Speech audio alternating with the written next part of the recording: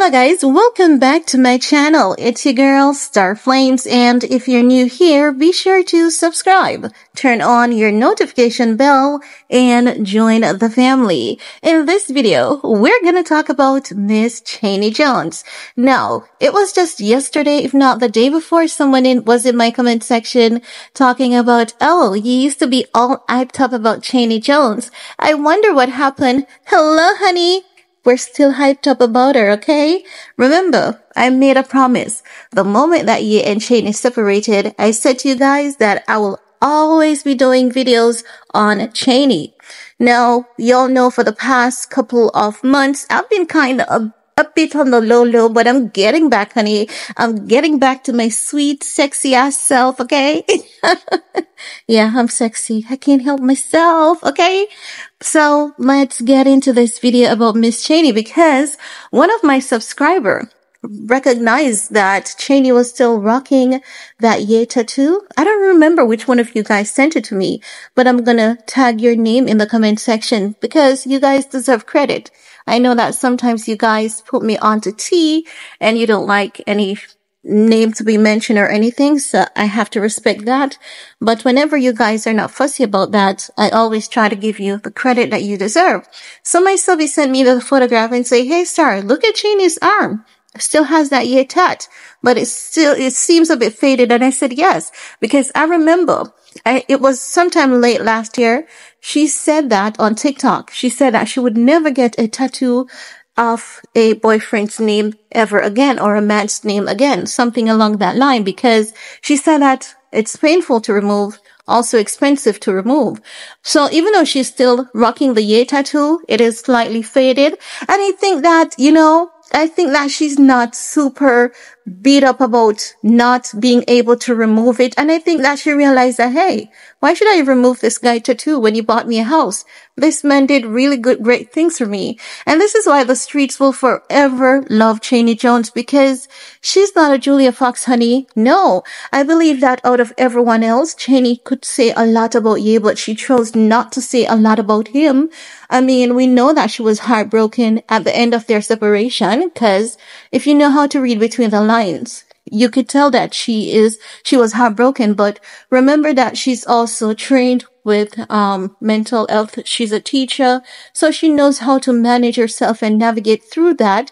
And she showed us that whenever she's down, you know, whenever she's a bit heartbroken, she takes it out in the gym. And we saw her doing a lot of um, not kickboxing, but boxing. Remember that she's very athletic. So she owed her own. She worked out in the gym, but you know, I realized that the tat was still there. I know y'all love the little scoop and love the little tea, you know. We know Ye is married. We're not gonna say this girl is, you know, hung up on you because she's not giving any signs or she's not acting in that manner. If anything, we see her supporting Bianca Censori, which many people may not realize. When Bianca was on Insta, she was supporting Bianca and Bianca supports Chaney. When Chaney went off with her fashion line, Bianca was rocking Chaney's clothes, which many people did not realize she was rocking Chaney clothes, you know, but I meant to do a video on it. And for some reason, slipped me. But yeah, Bianca is a huge supporter of Chaney. Chaney is a huge supporter of Bianca. I mean, you know, I guess at the end of the day, when you're really mature and not just maturity, you know, we all have different qualities, different personalities. And I think that some women realize that, listen, it doesn't matter if the guy and I did not end up together at the end of the day. I respect the girl that he's with. She's smart. She's not that woman who's catty. She's not, you know, doing anything to come after me. She's not talking any unpleasantries about me or anything like that. So I guess both of them, because they're so highly educated, um, you know, they have the knowledge to realize that it does make sense that, that they be bitter towards each other and they can only come out victorious with being supportive of each other. So I really like that for both Chaney and Bianca, but as I said, guys, I just wanted to make you all know that she still has the Ye tattoo, not that she's trying to use it as anything because some people act as though they have termites eating at their brain, you know, to say that if the girl has the tattoo, some people automatically try to say that, oh, she still wants you, she's, she's still trying to get his attention. No, that's not it. I saw the TikTok video when she said that she, you know, she actually showed us she was trying to remove it and you can see that it is faded somewhat, but you can still tell that it is there. And maybe she's like, what the heck? Why was I even putting myself through that agonizing, excruciating pain for, you know?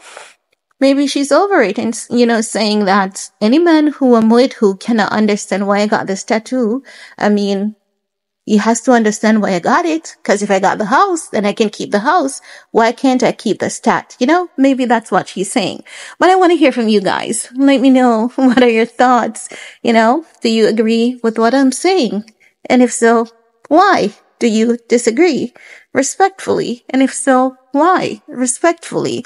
Let's get a discussion popping. Give this video a big thumbs up. Share if you care. See you guys later. Peace.